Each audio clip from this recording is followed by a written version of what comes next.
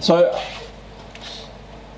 chronic pain patients used to make me feel quite emotional. They still do sometimes, but I get to work in the chronic pain clinic at Groote Schuur, so I've, I've got a bit of a story to tell about what it's like to work there.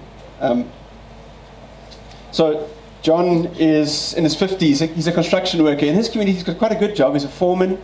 Uh, he's the sole breadwinner in his house, and he's become a bit of a, a, figure in his community because of the work that he does. He can fix people's houses. Um, it's really quite important to him, and it's part of his identity. But about three years ago, he stepped off a ladder, strangely, and felt a twinge in his back. It was out for a little while, and then a few months later, he did it again and again, and he found himself in this spiral where his pain in his lower back began to become more and more persistent, and his flares more and more frequent and more and more painful. And his pain began to spread to his legs and up his back and into his neck. And the pain became so bad, it started to own his life. And his relationship with his wife began to break down. With his kids, he became socially isolated. He was losing that role in society. And he was going to lose his job. He was going to lose the means that he had to support his family. And he comes to your ED but it's not the first time. You've seen John many times. And he comes in every time, and when you see him, he's angry. He's angry and he's desperate because he's gone to how many doctors and how many different hospitals and how many different centers. He's paid money where, where he thought it might help. And they've done scans like MRI scans, and they've examined him, and they've said, You've got no red flags, buddy. If I look at the scan, you know, I can't see anything that here that I can fix and the message he's getting is I'm going crazy. This pain is all in my head. Nobody believes me. And I think when I see John, I get that feeling too. Like, this is so frustrating, John. There's nothing wrong with you. Get out of here. I've got real patients to look after. But on the other hand, I'm going, here's a man who's desperate, who needs my help, and I've been trained all my life to help him but I've got nothing to give him. I've got nothing I, I, I, can do for him. Except, you know, do that magic thing where you write on a piece of paper and it disappears over a counter and it comes back magically as a pill. but really, I'm treating me and not him there. I think it's a heart sink moment. But I want to tell you how I have learned over the last few years that I think we've got hope for John. I think we can turn this into a good news story. But I've got to take you a step back first. So I want to ask you to look at um, these pictures. I, am not sure if it's exactly clear, but this is a gentleman at a Sundance festival who's hanging in midair by some meat hooks. So for, for 30 seconds, turn to the person next to you, and I want you to tell them who you think is having the worst pain experience, and I want you to tell them why you think that. What is it about their experience that's making it the worst experience? 30 seconds and uh, seem to come up. Can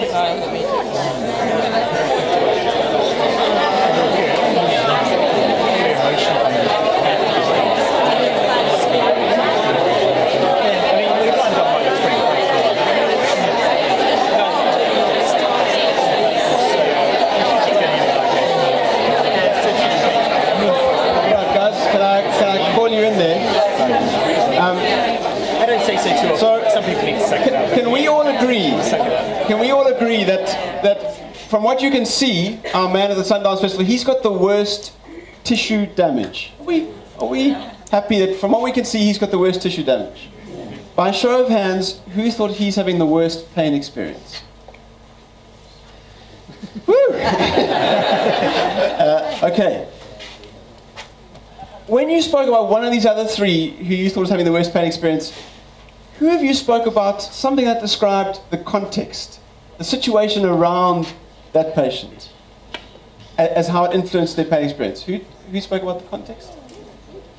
And did anybody think about what that experience means to that individual? Did anybody talk about, for instance, our Sundance Festival man, what his experience meant to him? Did anybody talk about meaning?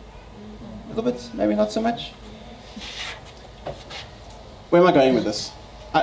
I'm hoping that, that you learn from this particular slide that context and meaning affect our pain experience. and that pain and tissue damage can be decoupled. good one, right? Good one. You cut my finger, I'm sore. Okay, I get that, right? But particularly in chronic pain, particularly in chronic pain, pain and tissue damage can be decoupled. They are neither necessary nor sufficient to cause each other. If you don't believe me, just park it. Just park it. I'm hoping you'll believe me by the end. Okay. So, what is pain then? Pain is a construct of the brain in response to threat. We need it, it's helpful, it keeps us safe. It's a really powerful behavior change mechanism. If you put your hand on a hot plate, your, your brain needs to move your body fast to keep you safe, and so it makes your whole being about the pain in your hand, you move away quickly.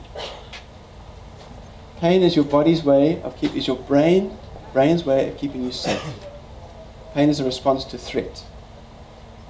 But pain and tissue damage can be decoupled, especially in chronic pain. If we look at John, if we go back to John, John's MRIs are normal. There's no tissue damage in his back that doctors can, can use to explain why he has such intense pain. But if his pain goes on like this, he loses his job, his position in society, his marriage. What's happening in his back is a huge threat to who he is. so hopefully, you guys are starting to get this idea that pain can be decoupled from tissue damage and pain is a threat. But how do we fix it? In your ED, when you've got a short period of time, I'm not saying it's easy, but hopefully, with this framework, you might be able to have a discussion with your patient. So the first thing is the principle of a discussion around pain must be about agency. You are going to give John the tools to take his life back, to own his life instead of being owned by pain. He's going to take control but you've got to deal with the context. So what does that mean? The first thing you've got to do is you've got to convince John that you understand. And the way you do that is by listening. And I know that's hard in the ED because you've got a million patients waiting. It's why I left the ED. Because uh, that's hard. That's really hard. That's really hard to, to, to give him a, a long period of time. But you do need to acknowledge that his pain is real, even though the tissue damage is not real, the pain is real. He's not crazy, he's in pain. And there are very clear, well understood scientific mechanisms, changes in your brain that are driving that pain. And then you need, need to give him something to focus on, something to, to go at. And uh, if you're a millennial and you're looking for something to focus on, something to discuss, something to think about, you give him a hashtag. All right? it's a bit of a shoehorn, but, but bear with me. Uh, and the first thing you're going to put in that goal, and I think for him to think about, is you, you've got to try and deal with what the pain means for him. We've got to try and take John on a journey that causes a cognitive shift away from pain equals tissue damage towards pain equals threat. And if I'm not under threat, then I may not be in pain. So, how do we do it? Okay. So, if you're still not believing me about this whole pain versus tissue damage thing, maybe you will after you hear what I say to John. So, it's called Pain Neuroscience Education the physios are leading the way in this. Um, it's evidence based uh, and it comes from really hard neuroscience. Um, and we know that if, if, you put your educator hat on and you think you're, you're trying to change somebody's understanding of a concept, we know that just being didactic is not going to work. So we've got to take him on a journey using metaphor, experience, story, narrative, and take him to a point where, where he makes the connection himself. So think about whether you can do this. So John, I, just want to show you a picture. So this is a house. John, you build houses, you know about houses. Um, do you ever install uh, burglar alarms? Well, yes, I do. I do So what we do with the burglar alarm is we have sensors on the doors and the windows, and a sort of central processing unit, a box, a computer in, in, in the roof, and then we have this siren. And how it works is, if this window opens, a signal is sent from the sensor to the computer, to the central processing unit, but the signal doesn't say danger. The, central, the signal says movement or, or the window's open. And the central processing unit, and yes, it's equivalent to your brain, goes, Um, well, uh, yeah, it seems as if the uh, window is open on the second floor. Um, well, that could mean uh, danger. That must mean danger. Well, uh, we need to do something about it. Let's change some behavior. Let's turn the siren on. Woo, woo, woo. And your alarm goes off. The central processing unit has decided that there's danger and it needs to do something about it. It needs to warn you uh, or the ADT security. ADT, Australia, foreigners, that's like a security company, company. Um, but sometimes what happens is the wind blows and it rattles the window. And either because the sensor has had its sensitivity turned up, or because the signaling channels have become a bit deranged, or because something in the processing unit is not really understanding the signal well, the window rattles and the processing unit goes, uh, there um, uh, appears to be uh, some movement in the window on the second floor. Uh, I think that's danger.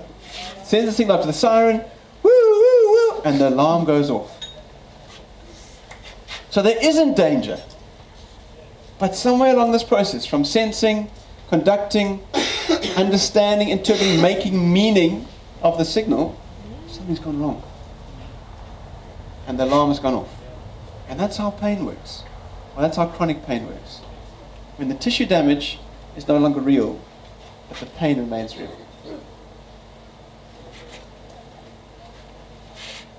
What happens if that signal keeps coming and that alarm keeps going off? Is it just starts to grow and grow and grow. And the intensity and the persistence continues until it owns your whole life. And John, that's where you are. Your pains uh, own your whole life.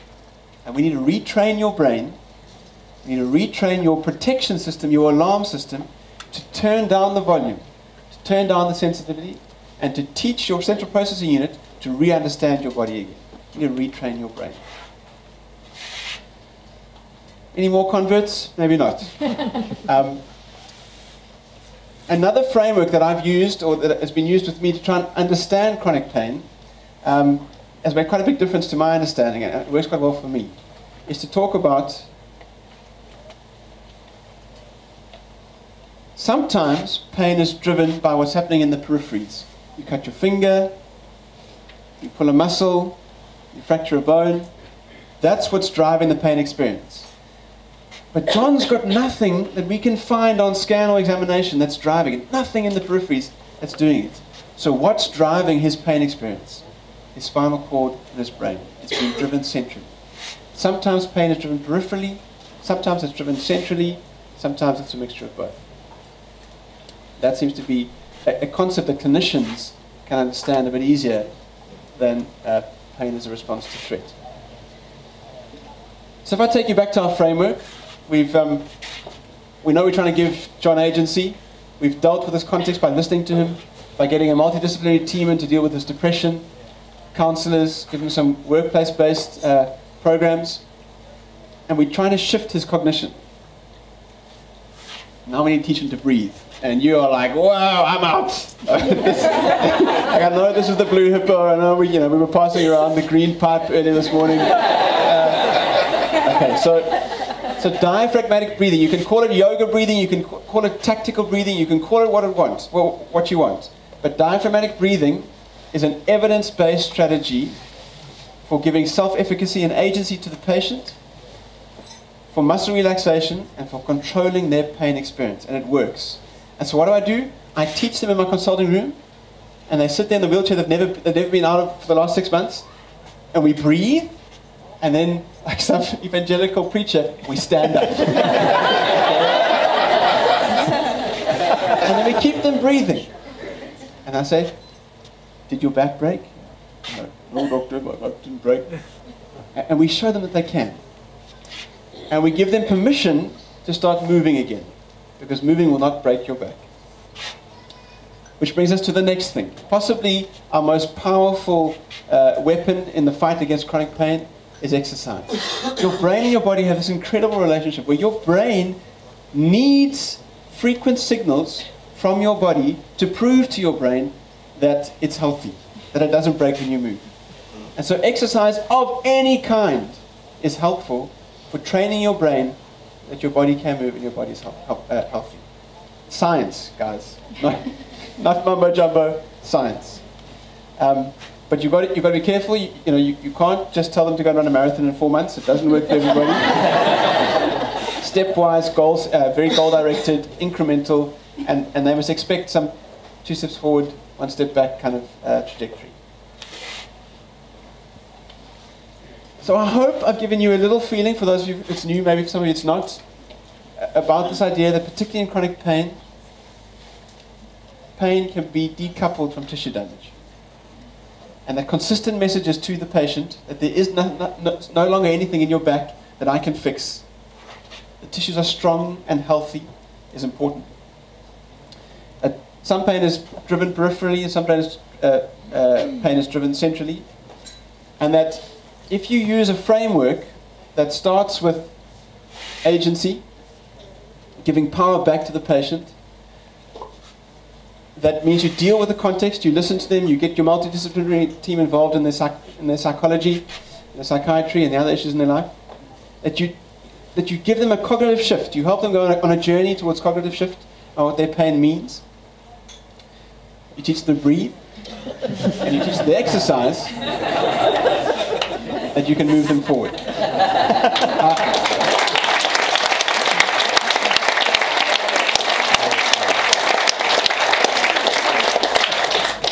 I, hope you can remember that. Um, I think you'll. Um, I, I promise, Kat, I will give you some links to some really great YouTube clips and some really great articles uh, that will help you incorporate this kind of pain neuroscience education and approach into your practices. And I'd, I'd love to talk to you about it afterwards.